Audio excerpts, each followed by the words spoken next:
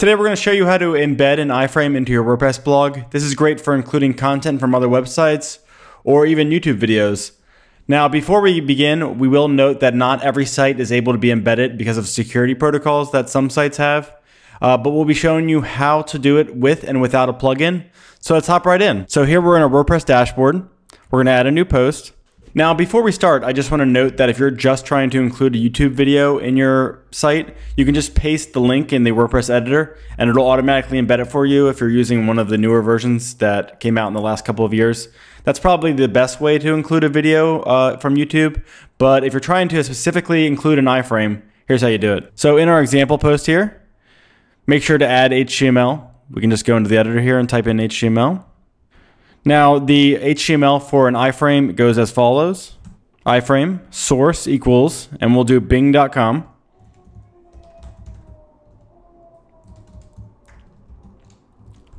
And that's it. Now we're going to preview the doc.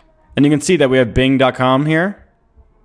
Granted, it's a bit small here, but that's how you embed an iframe. Now, if you're not comfortable with doing HTML, now we're going to show you how to do it using a plugin and a shortcode. So we're just going to go over here and download a new plugin. And the one we're going to be using is called iframe. And it's over here by webvitaly. So now we've activated the plugin. Now here's the example shortcode they give you here. We'll be copying that and we'll go back to our post. And we'll be removing our current HTML and adding some text here.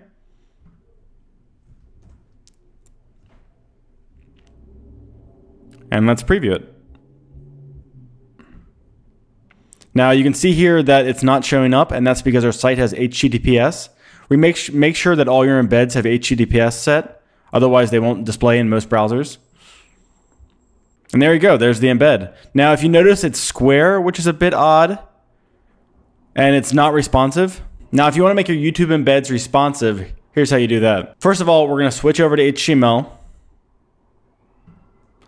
And we're going to wrap our iframe tag. This will also work with the HTML tag or the shortcode. So either way that you're doing it, you'll need to add this new tag in. Div class equals responsive embed container. Now, this class actually does nothing right now, but we're going to show you how to add HTML into your site that'll make the embed responsive using this code. And then we're going to end the div tag over here. You can see here that the embed is incorrect because we have a widescreen video here. So we're going to go into customize and your WordPress site should let you add additional CSS here. If it doesn't, you can find plenty of plugins that let you add CSS. Now we're going to go over to our blog post, which has the code examples that we're using in this video. And we're going to add the CSS here for the responsive embed container.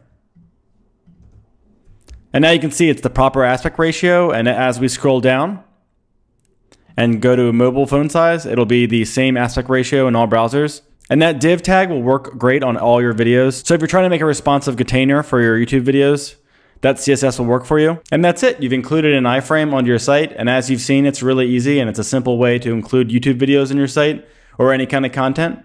Now, if you have any questions or hung up on anything, let us know in the comments and we'll be responding. And for all of the code examples and the full tutorial, check out the link in our description, and that includes the links to the plugins used as well. And for more WordPress tutorials, be sure to subscribe and check out our, our website, smartwp.com.